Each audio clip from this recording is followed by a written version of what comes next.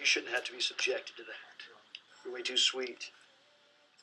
Way too cute, too. Stop it. You're gonna make me blush.